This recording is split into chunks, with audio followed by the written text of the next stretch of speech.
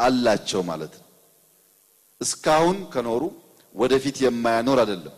ችግርን በሚመለከት ግን በኦሮምኛም በአማርኛም ብዙ ገላጭ አባባሎች አሉ። ጉልቻና ጉልቻም ይጋጫል ይላሉ እናቶች። ጉልቻና ጉልቻ ስለሚጋጭ ሶስት ጉልቻ አስቀምጠው መጋገር ግን አይተውም። እንዳይጋጩ ቦታ ቦታቸውን ያስይዛሉ እንጂ እግር ከእግር ስለሚጋጭ ይሄ ቀኝ እግሬ ግራ እየገጨ አስቸግሮኛል ብሎ ግራ እግሩን ቆርጦ ጥሎ በአንድ እግሩ የሚሄድ ሰው የለም። ግን በአባባል ግራ እግርና ቀኝ እግር እንኳን ይጋጫል ይባላል። አብረን ስንኖር የሚያጋጭ የሚያጣላ የሚያቃቅር ነገር ይኖራል። እንኳን ህዝብና ህዝብ ብቻችሁን አንድ ሳምንት ከህሊናችሁ ከሀሳባችሁ ሳትጋጩ አትኖሩም። በስፋት ስታስቡ ከራሳችሁ ሀሳብ ጋር የምትቃረኑባቸው በጣም በርካታ ጊዜያቶች ይኖራሉ።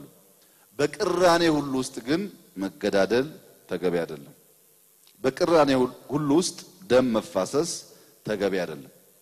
በተለይ ዩኒቨርሲቲ ከሄድን በኋላ ጩቤ የምንማዘዝ ሰዎች ጩቤ ለመማዘዝ ሀገር ማቋረጥ የባስ መክፈል አስፈላጊ አይመስለኝም። እዛው ሰፈር ውስጥ መዋጋት ስለሚቻል ሰው ዩኒቨርሲቲ የሚሄደው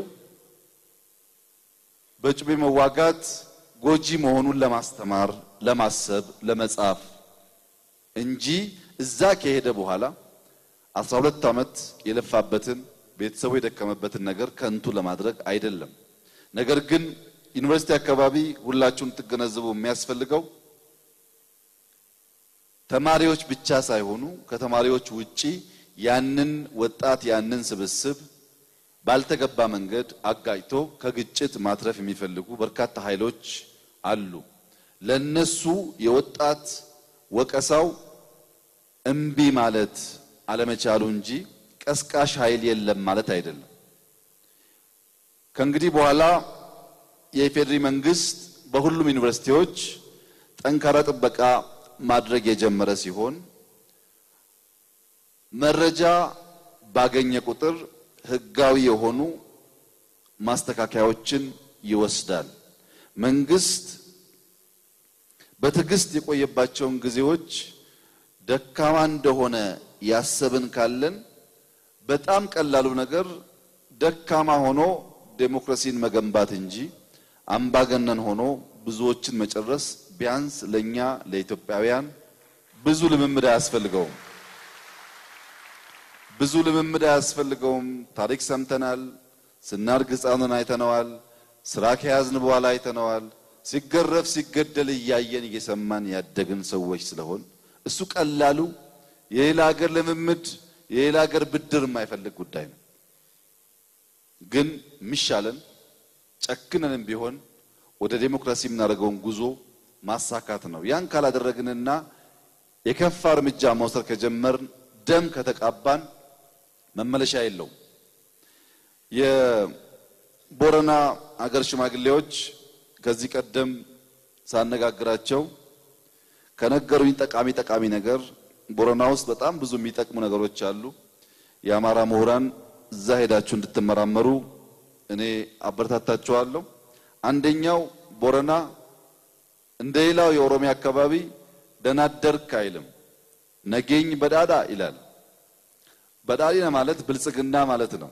የፓርቲያችን ስም የወጣው ከቦረና ነው ማለት ነው። ራሱ ሰላም ራሱ ሰላም የሚበለጽግ ነገር እንደሆነ ቦረና ያምናል። ሰላም ነህ ሰላም አይደለህም ብቻ ሳይሆን ሰላም በስቶልሃል ወይ በልጽጎብሃል ወይ እንደማለት ይህ እሳቤ በጣም ጥልቅ መልእክት በውስጡ አለው። ይህን ጉዳይ በቀደመው ንግግሬ ውስጥ ያመጣሁበት ምክንያት ኢትዮጵያ ውስጥ በሰላማዊ መንገድ አንድ ተርም ሁለት ተርም እያገለገልን አመሰግናለሁ ብለን መለያየትን መጀመር አለብን። ያ እንዲሆን ከፈለጋችሁ ደም መቃባት የለብንም። ብዙ የአፍሪካ መሪዎች በሰላማዊ መንገድ ለወጣት አመራሮች መልቀቅ ይፈልጋሉ። ግን ችግራቸው ደም ተቃብተዋል። ኬንያ ድረስ ተከትለው ገለዋል። ጅቡቲ ድረስ ተከትለው ገለዋል። ብዙ ሀገር ሄደው አጥፍተዋል።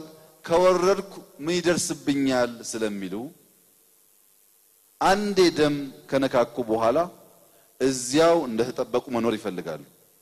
እኔ ደግሞ በሰላም በተርም ማስረከብን ኢትዮጵያ ውስጥ መጀመር እፈልጋለሁ። በሰላም ማለት በሰላም ማለት እንደ ባለፈው በቄሮና በፋኖ ግፊት ማለት አይደለም። በምርጫ ያ እንዲሆን ካስፈለገ ደም መቃባት የለብንም። ደም ካለማመዳችሁኝ እንደ ከዚህ ቀደሙ እኔም እዛው ነው የሚሆነውና ለራሳችሁ ስትሉ ደም ከመቃባት ተባባሪ ሆኑ። ልክ እንደ ሀብታሞቹ፣ እንደ ምሁራን፣ እዚህ እንዳላችሁ ወጣቶች እንደዚሁም የአማራና የኦሮሚያ የተፎካካሪ ፓርቲዎችም በዚህ ጉዳይ ከፍተኛ ተሳትፎ አድርገዋል። እነሱንም ማመስገን እፈልጋለሁ። ደም ሳንቃባ ዴሞክራሲ የምንገነባባት ኢትዮጵያ እንድትሆን ልባችን የሰፋ ትከሻችን የሰፋ አርቀን የምናስብና የምናስተውል ብንሆን መልካም ነው። በመጨረሻ እስከ ዛሬ ያላካፈልኳችሁን ዛሬ አንድ ከህይወት ልምድ ላጋራችሁ የምፈልገው ሀሳብ አለ። የሳተላይቱ ጉዳይ እዚህ ጋር መልሶ ይመጣል። በርካታ ወጣቶች እዚህ ስላላችሁ ነው ይህንን ጉዳይ የማነሳው። በፎርማል ንግግር የማይመች ቢሆንም ግን ልምዱን ባካፈላችሁ ስለሚጠቅማችሁ ነው። ብዙ ጊዜ ከበሻሻ መምጣቴንና እኛ አካባቢ ብዙ ሰዎች ድሃ መሆናቸውን ነግሬያችሁ ነበር። እኛ አካባቢ ነው ያልኩት። አንዳንድ ሰዎች ሲጠይቁኝ እናትና አባቴ ድሃ መሆናቸውን ተናግሬያለሁ። ነገር ግን አንድም ቀን በድህነት ኖሬ አላቅም። እናቴ መኪና የላትም። እኔ አንድም ቀን በእግሬ ሄጄ አላቅም። አልሰማችሁኝም? እኛ ቤት የደብረ ብርሃን ብርድ ልብስ ብቻ ነው ከሰሌን ላይ የሚለበሰው። እኔ ግን አንድም ቀን ከታች አንሶላ ከላይ አንሶላ እና አልጋ ልብስ ሳላደርግ ተኝቼ አላቅም። ስለዚህ እንዳትሸወዱ ከበሻሻ የመጣው የድሃ ቤተሰብ ልጅ እያላችሁ ነገር ግን ይህ እንዴት ነው የሆነው ያላችሁ እንደሆነ ጠዋት ጠዋት ስነሳ እናቴ ሂድና ስኳር ገዝተና ትለኛለች ከሱቅ እኔ ስኳር ለመግዛት ከቤታችን ስወጣ ቀጥ ብዬ ሱቅ ቤት አልሄድም።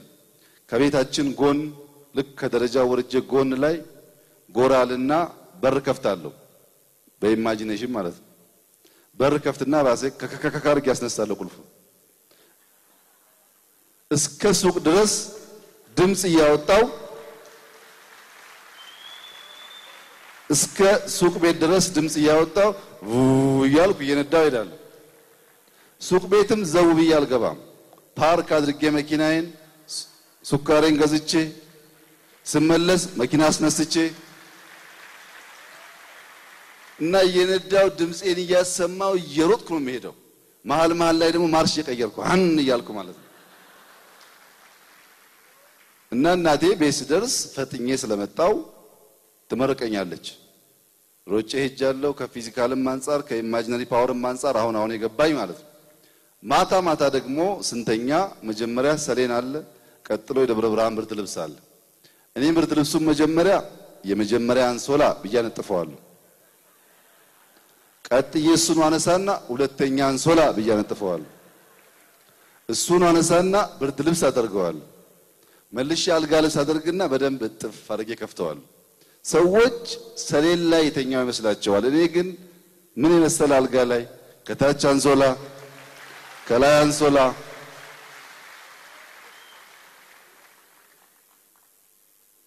ወጣቶች አሁን ባላችሁበት ሁኔታ አትያዙ። የማሰቢያ አቅማችሁን ካላችሁበት ሁኔታ ካሻገራችሁ imagine ሰው ከበሻሻ በሻሻ ሲባል ሄዳችሁ ካላያችሁ አይገባችሁ። እንዲሁ ስታዩት ደህንነቱ ያስታውቃል። እንኳን ኖራችሁባት። ሰው ከእሷ ወጥቶ ያለመውን ያሰበውን ማሳካት ከቻለ ከተያዛችሁበት ጉዳይ ወጣ ብላችሁ ማሰብ ከቻላችሁ መሆን ይችላል። የሳተላይቱ እንደዚሁ ነው። መሪዎች በተቀያየሩ ቁጥር በቀላሉ ለመቀበል ቢቸገሩም እኔ ተስፋ አልቆረጥኩም፣ እገፋ ነበር። ለእናንተ ሳተላይት ነው የመጠቀላችሁ። ለእኔ ግን ልክ እንደ ብርድ ልብሷ ልክ እንደ ድሮ መኪና በማይታሰብ ጊዜ የታሰበ ነገር ተሳክቶ ማየት ስለሆነ ደስታዬ ድርብ ነው ማለት ነው።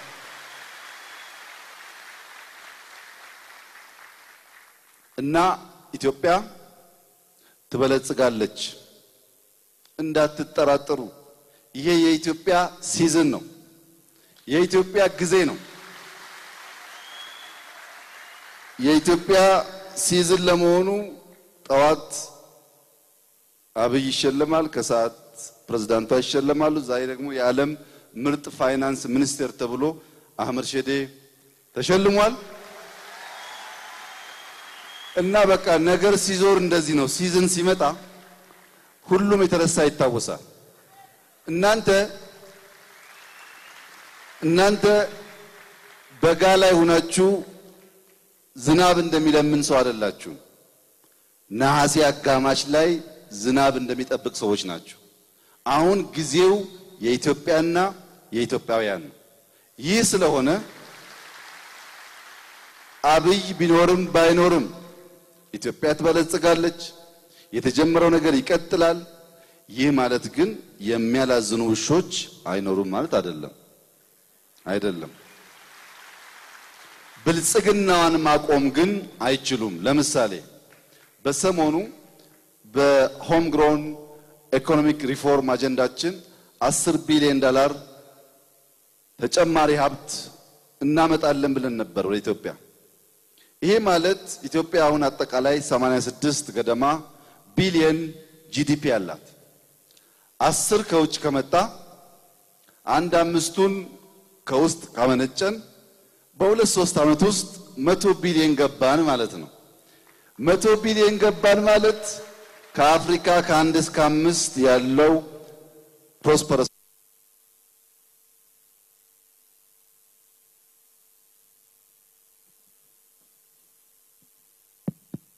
ከአፍሪካ ከአንድ እስከ አምስት የተሻለ ጠንካራ ኢኮኖሚ ካላቸው ሀገራት አንዱ ያልነው ተሳካ ማለት ነው።